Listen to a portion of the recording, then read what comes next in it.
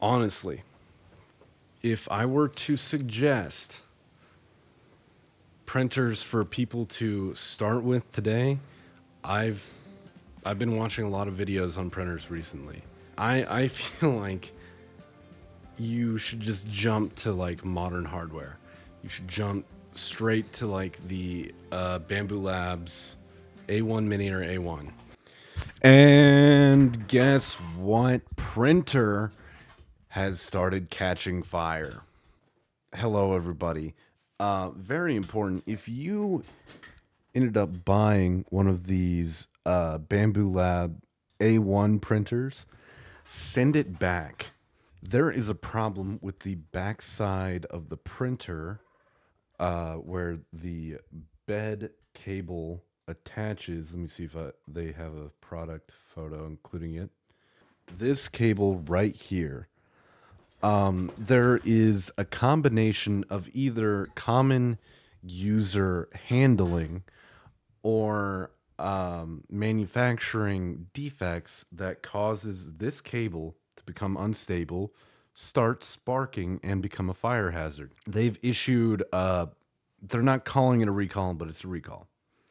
They're issuing a recall for this printer where uh, there's an option to either return your printer and uh, get a new one or equal value trade in uh, towards a new printer. Like if you wanted to get, they I read the page. It listed everything, pretty much everything on their entire uh, model lineup.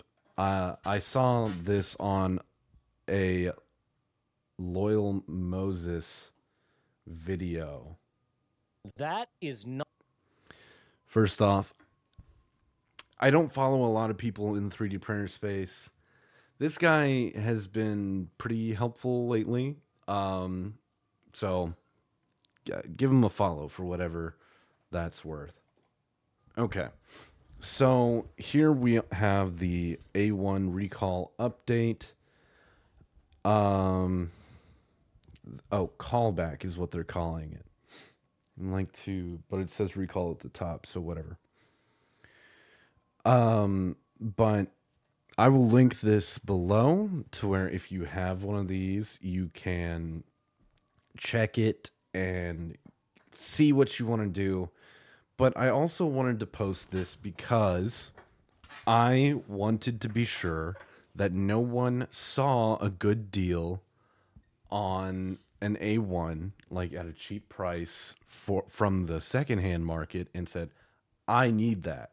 I feel like there is some level of responsibility I have for whenever I make a recommendation uh, to put out updates whenever uh, there have been important updates for safety.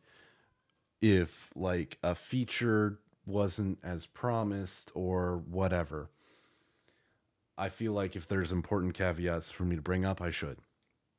So, it took me way too long to make this for a million reasons, including my voice sounding horrible because my spray paint mask does not fit my face. And I also think it just doesn't work. It doesn't hold the filters in place. So I got a throat full of spray paint. Anyways, please do not buy a Bambu Labs A1 until after they have made changes and do a re-release. They they will probably do that that. Please do not buy an A1 until the re-release has been issued.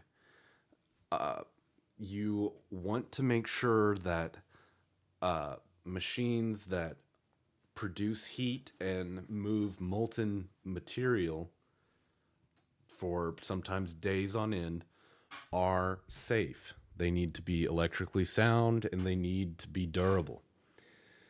This, I feel like this could be fixed with just a simple drag chain and like something to protect the plug over here.